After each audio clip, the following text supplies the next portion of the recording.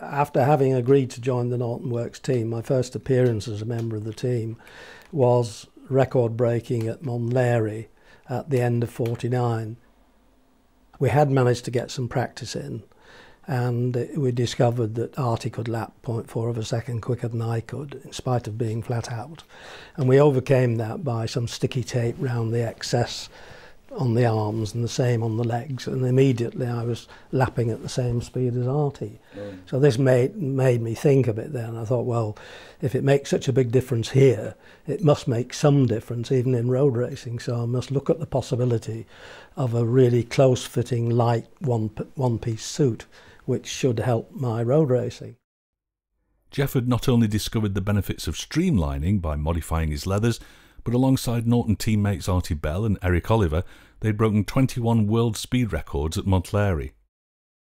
After this experience with taping the leathers up and one thing and other, and yeah. realising that it would be a, a, help even in racing, Grand Prix racing, uh, I went straight to the people who made my leathers, the original ones, two piece, uh, in Liverpool, and asked them did, did they think that they could make me a close fitting, very light, one piece set of leathers, with, but without a lining. And uh, they said yes, they thought they could, but they'd need a pattern.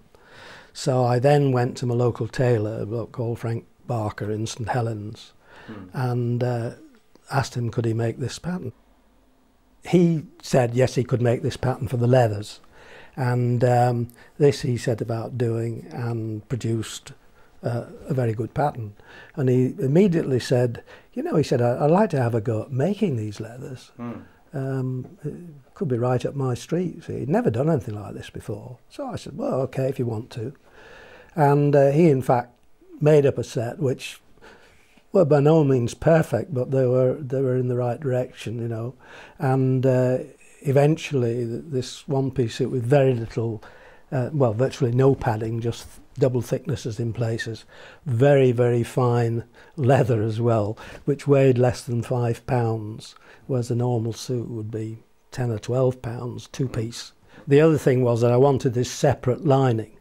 So I went to some people in London who made ballet outfits, and um, they said, yeah, they could make something to suit me, which included the feet and everything.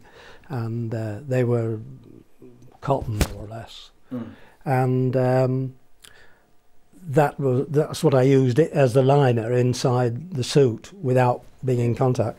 The idea being that they would slide independently, so to speak, and give me more freedom of movement, yeah. plus the lightweight and uh, and everything else. Mm. And of course, there were lots of ribald uh, comments from other riders about this ballet rider, you know, this ballet uh, performer, yeah. uh, which I managed to withstand. And of course, eventually they were all doing the same thing anyway.